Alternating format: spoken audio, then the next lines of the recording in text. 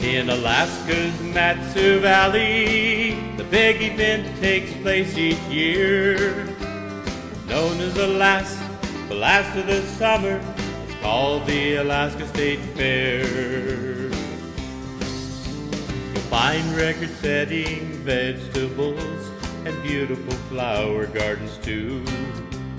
Games and rides, exhibits and booths, there's always so much to do.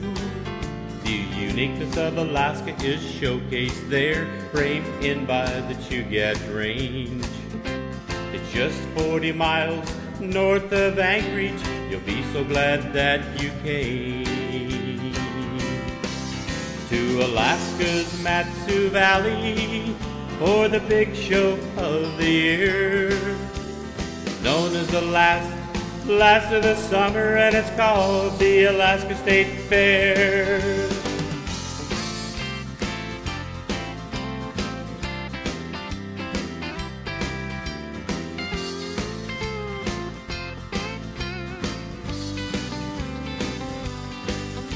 There's livestock and the poultry pen, a rodeo and the petting zoo. Arts and crafts of every kind, your favorite vendors are there too. Concerts and plays on different stages, see folks you haven't seen all year. Cause birds of a feather, they all flock together, and the place they always meet is clear. It's in Alaska's Mat-Su Valley, and it's the event of the year.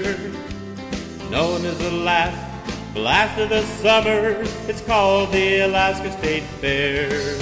In Alaska's Mat-Su Valley, the big event takes place each year. Known as the last blast of the summer, it's called the Alaska State Fair known as the last blast of the summer. It's called the Alaska State Fair.